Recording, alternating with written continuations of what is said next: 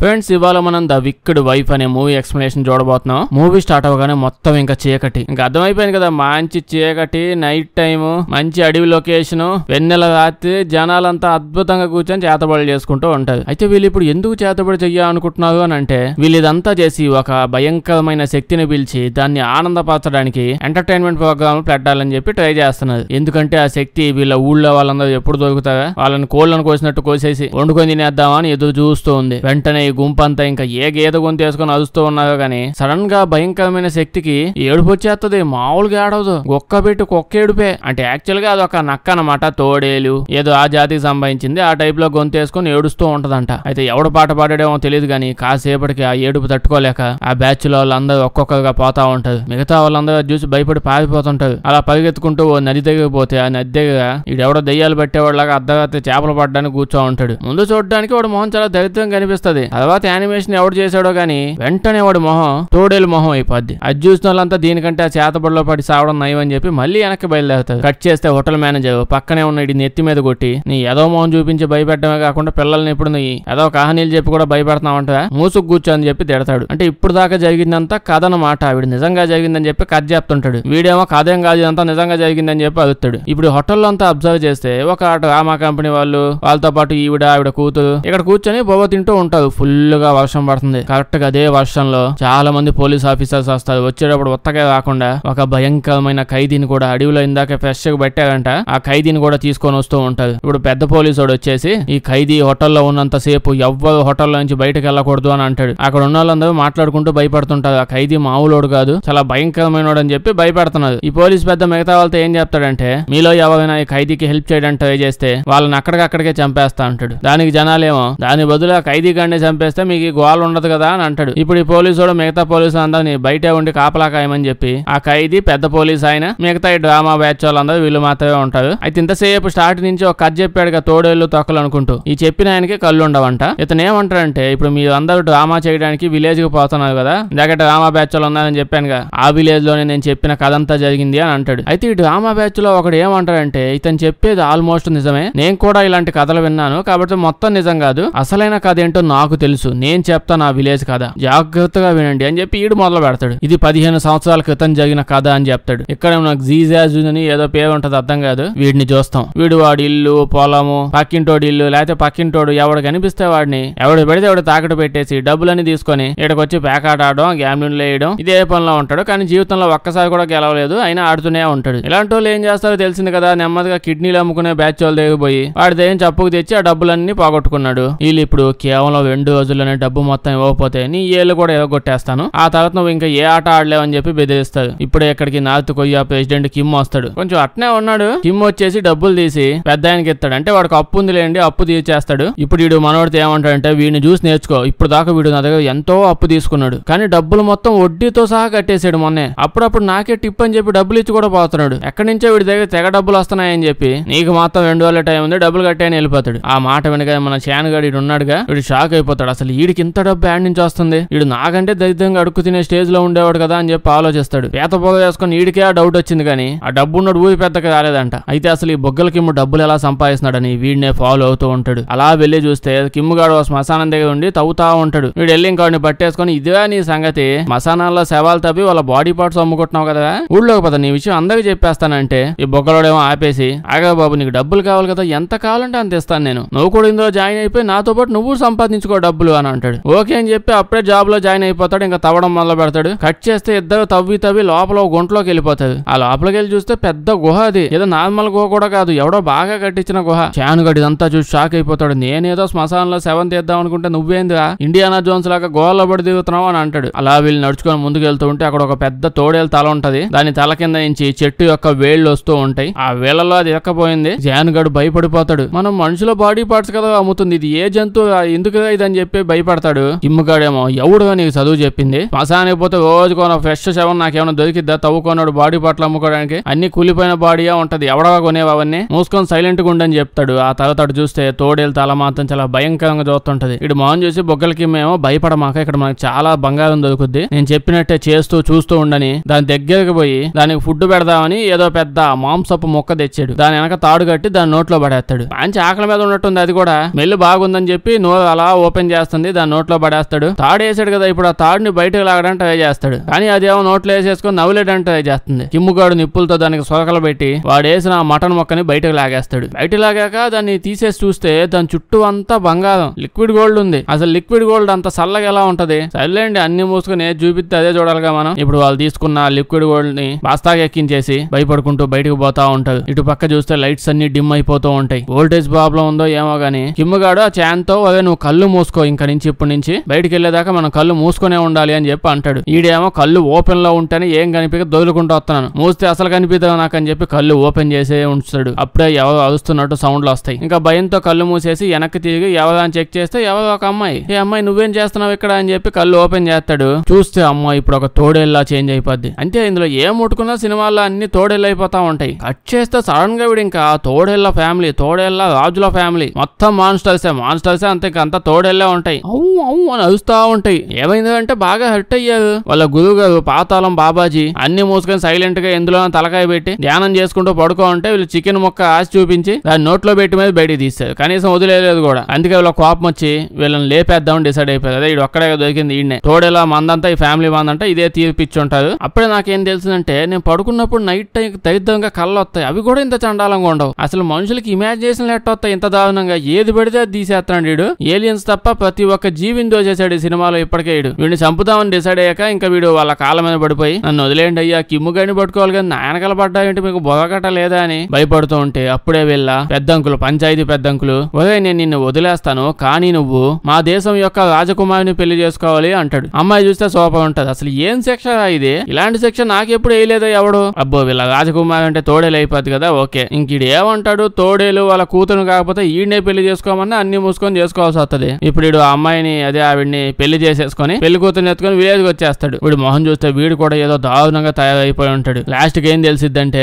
వీడు పెళ్ళి చేసుకున్న అమ్మాయి ఒక విచ్ మంతగత్తె తోడేలు ఇలా అన్ని ఎబిలిటీస్ ఉన్నాయి లేండి లోపల ఆవిడ లోపల. ఇప్పుడు ఈ విధంగా అతను కథ చెప్తూ ఉంటే ఆ పక్కనే కళ్ళు లేని ఆయన ఉన్నాడు కదా చాలా హ్యాపీ అయిపోతాడు. తల్లే నేను స్టార్టింగ్లో చెప్పిన కథలో కొంచెమైనా నిజం ఉందని చెప్పి మేము నమ్ముతున్నారు. అదే హ్యాపీ నాకు అని అంటాడు. అప్పుడే ఆ పక్కనే ఉన్న ఖైదీగాడు ఉన్నాడే వాడేమో ఎంతసేపు మీలో మీదే నా కథలు చెప్పుకునేది ఏం నన్ను చెప్పనివా ఆల్రెడీ కట్టేసి పెట్టారుగా నేను చెప్పే కథ కూడా ఏనండి ఇప్పుడు అని అంటాడు. అంటే దీని తర్వాత కథ ఏం జరిగిందో నాకే తెలుసు అని చెప్పి ఈడు మొదలు పెడతాడు. ఈడు ఇప్పుడు ఏం చెప్తాడు? సేమ్ మళ్ళీ అదే పదిహేను సంవత్సరాల వెనక్కి. అదే విలేజ్లోకి ఒక శిష్యుడు తన మాస్టర్తో పాటు వెళ్తూ ఉన్నాడు ఫుడ్ తినడానికి. ఇప్పుడు ఆ విలేజ్లోకి వెళ్ళి చూస్తే అక్కడ ఎవ్వరు అసలు జనాలే లేదు ఊళ్ళో ఎవడో కనిపించట్లా. అక్కడ ఒక హోటల్ ఉంది కాకపోతే. ఆ హోటల్లో మాత్రమే జనాలు కనిపిస్తున్నారు. ఇంకా ఈ మాస్టర్ శిష్యుడు వీళ్ళిద్దరు వస్తూ ఉన్నారు కదా ఆ మాస్టర్కి చుట్టుపక్కల ఏదో తేడా తేడా కనిపిస్తా ఉంది. ఇల్లు వీళ్ళు హోటల్లో కూర్చోంటారు అప్పుడే మనం ఇక్కడ చైన్ గాడిని చూస్తాం. చైన్ గాడు గొర్రెపిల్లని పెళ్ళి చేసుకుని వచ్చాడు కదా. ఆడిదే హోటల్ అన్నమాట ఇప్పుడు. వీళ్ళందరి కోసం ఒక పెద్ద మేకను కోసేసి కోసినట్టు కూడా లేదు. ఏదో చచ్చినాడు అట్నే వండేసి ఇలా ముందు పెడితే వీళ్ళందరేమో ఏం సామె టీ తాగడానికి మా దగ్గర డబ్బులు లేవంటే ఇంత పెద్ద దాన్ని తీసుకొచ్చి మా ముందు పెట్టావు? అని అంటే దానికి వాడేమో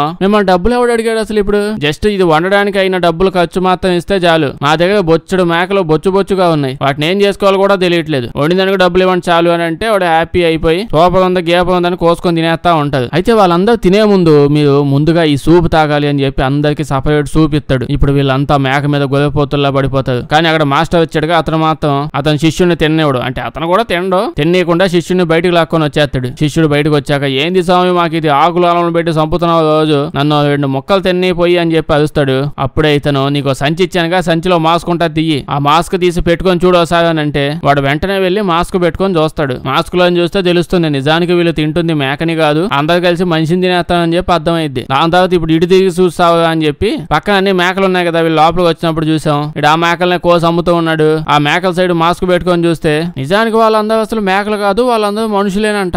ఎవడో వాడికి వచ్చిన కళ కాదు వాళ్ళ ఫ్యామిలీలో దరిద్రులందరికి వచ్చిన కళ అంతా కలిపే సినిమా తీసేసినట్టున్నాడు. సినిమాలో దరిద్రాలు అప్పుడప్పుడు జరుగుతాయి ఓకే. కానీ దరిద్రాలు జరుగుతుంటే మధ్య మధ్యలో ఏదో సినిమా జరుగుతున్నట్టుంది. అది మనకు కళలో ఏది పెడితే అవుతూ ఉంటాయి. ఇలా సినిమాలో అవుతుంది వీళ్ళ శిష్యుడు ఏంది సార్ మాకు ఇది? ఏంటి ఇదంతా అంటే ఈ పెద్ద ఆయనేమో నిజానికి ఈ విలేజ్ మొత్తాన్ని ఒక రాక్షసుడు ఆక్రమించేశాడు. వాడిని చంపడానికి నేను వేసుకుని ఏడ దాకా వచ్చింది నేను. కాకపోతే నీకేం మటన్ బిర్యానీ పెడదామని ఇక్కడ తీసుకొని రాలేదు. ఈ విలేజ్కి మనం వచ్చింది ఆ మాన్స్టర్ చంపడానికి అని అంటాడు. ఇప్పుడు వీళ్ళు ఒక కత్తిని పట్టుకొని ఆ కత్తికి మంత్రాలు చదివి అతికించేసి వదిలిపోతున్న వేయాలి కదా మరి. కత్తితో పూజా కార్యక్రమాలు అయిపోయిన తర్వాత మాన్స్టర్ ఎత్తుతా ఉంటది. అయితే మన చానుగాడు ఏదో మేకప్ వేసుకొని దిగుతున్నాడు కదా వాడు కాదంట అసలైన మాన్స్టర్ మాన్స్టర్ ఇంకోటి ఎవడో వాడు ఏడాడో తిరుగుతా ఉంటాడు వెతకండి అని చెప్పి వీళ్ళు ఎతుకుతూ ఉంటారు. ఈ మధ్యలో వాళ్ళకి చాలా అడ్డంకులు వస్తాయి కష్టాలు పడతారు ఎదుర్కొంటారు. తోసుకుంటూ వెళ్ళిపోతారు లాస్ట్గా చానుగాడే వస్తాడు. అంటే చూస్తే ఏంటి ఇప్పుడు ఆ చాన్ గాడ్ లోపల అసలైన మాన్స్టర్ ఉన్నాడు. సో చానే మాన్స్టర్ అని మళ్ళీ అంటది. ఇప్పుడు పెద్ద ఫైట్ చాలా పెద్ద ఫైట్. ఇప్పుడు అందులో జరిగిందంత ఎక్స్ప్లెయిన్ చేయాలంటే కష్టం. గురువు గారు తెగ కొడతాడు వాడిని. కొట్టి కొట్టి వాయ కొట్టి వదిలేస్తాడు. కాసేపటికి చాన్ గాడు గురువు గారు దెబ్బే గానీ అతను కింద పడి చచ్చిపోతుంటాడు. సో వీళ్ళందరూ దెబ్బలు తగిలి ఉంటాయి చాన్ గాడికి కూడా దెబ్బలు తగలడం వల్ల అక్కడి నుంచి పారిపోతాడు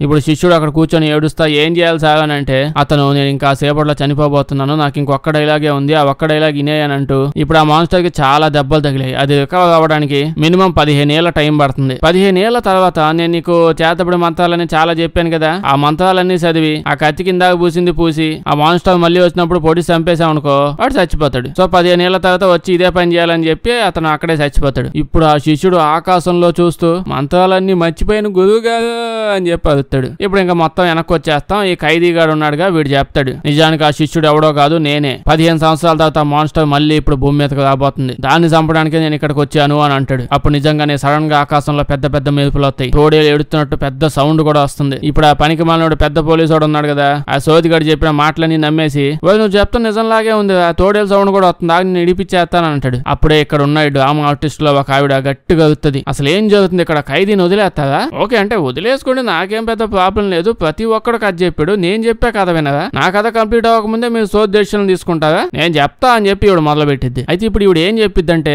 చాన్ గాడిని ఇంతసేపు మనం విలన్ చేసి మాట్లాడాం కదా. నిజానికి అతను ఏమి విలన్ కాదు. నేను ఆ చాన్ ఉన్న విలేజ్లోనే ఉండేదాన్ని. ఆ చాన్ పదిహేను సంవత్సరాల క్రితం జరిగింది మళ్ళీ ఇది కూడా. అతను చాలా మంచివాడు చాలా ధనవంతుడు. అతని దగ్గర ఉన్న డబ్బుల్ని ఎప్పుడు జనాలకి పనిచేస్తూ అందరికి ఊళ్ళో ప్రతి ఒక్కరికి ఫుడ్ బియ్యం పంచుతూ ఉంటాడు. పంచడం అంటే మామూలు పంచడం కాదు తెగ పంచుతూ ఉంటాడు. ఏకదం పెద్దవాడి లెక్క అని చెప్పి అంత మంచోడని స్టార్ట్ చేసిద్ది. ఇప్పుడు ఆవిడ కథలోకి వెళ్తాం. అయితే ఒక రోజు అతను యాజ్ యూజువల్గా పొద్దున్నే వచ్చి ఊళ్ళో జనాలకి బియ్యం ధాన్యం పంచుతా ఉంటే కిమ్ముగాడు వస్తాడు. వాడు వచ్చి అయ్యగారు బియ్యం నాకు వద్దు తెగ తిన్నాను. తిని తిని ఎంత అయ్యాను? నాకు డబ్బులు కావాలి మా మమ్మీకి బాగాలేదు అంటాడు. అప్పుడే చాన్ వాళ్ళ తమ్ముడు వస్తాడు. తమ్ముడు మొహం గుర్తు పెట్టుకోండి చాలా పెద్ద తమ్ముడు అంటే ఇంపార్టెంట్ తమ్ముడు. ఇడు వచ్చేసి చాన్ ఆపేసి ఈ పనికి మాలినట్టు డబ్బులు ఇవ్వమాక ఇడు ఇట్లాంటి సోది విషయాలు చెప్పి ఊళ్ళో దిగుతా ఉంటాడు నమ్మమాక అని అంటే చాన్ మాత్రం అమ్మ గురించి ఎవడన్నా అబద్ధాలు చెప్తాడా? నిజమే అయి ఉంటదిలే అని చెప్పి డబ్బులు ఇచ్చేస్తాడు. ఇలా చెప్తూ ఈవిడ బయటకు వచ్చి చాన్ అంతా మంచోడు మీరే బ్యాడ్ నేమ్ చేస్తున్నారు. నిజానికి అసలు ఈ ఖైదీగాడు ఉన్నాడే. ఈ ఖైదీగాడే మంచోడు కాదు. చాన్ గాడిని మోసం చేశాడు నిజానికి ఖైదీ ఓడు అని చెప్తూ ఉంటది. అంటే ఏంది అడుదిరిగిడి తిరిగి తిరిగి కథంతా మళ్ళీ ఇళ్ళ